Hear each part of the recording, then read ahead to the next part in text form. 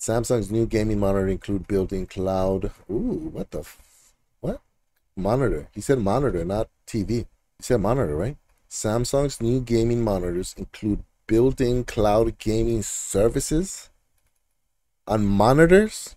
Samsung four new gaming monitors were showcased by the company. Odyssey series at the Gamescom event today. The new gaming monitors by the company include standard gaming features, just such as high uh, refresh rate support, curved display, and a faster response time. Samsung Gaming Hub. Oh, so Samsung Gaming Hub is coming to the monitors? I did not know that.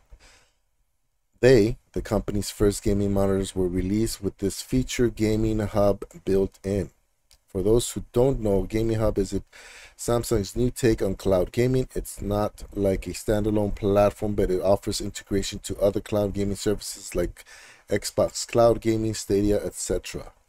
The gaming monitors now come with integrated support for cloud gaming services such as xCloud Cloud Gaming, Amazon Luna, GeForce Now, and Google Stadia. The users can stream and play video directly from their monitors without having to connect them to a gaming console or laptop. While Samsung hasn't revealed the complete details of its new Odyssey, it has revealed some important details about the series monitors. For for there's a lot of miss there's a lot of uh, uh, errors here.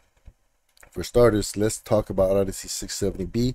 Can be ordered in two screen sizes, 27 and 32. It includes blah blah blah blah. Okay. Wow. I did not know that. Did you guys? Because they're talking about monitors, which monitors you just have an input uh, a bunch of inputs, right? Samsung's new PC gaming monitors do away with the PC. That's that's pretty smart. They're gonna take Microsoft out of business.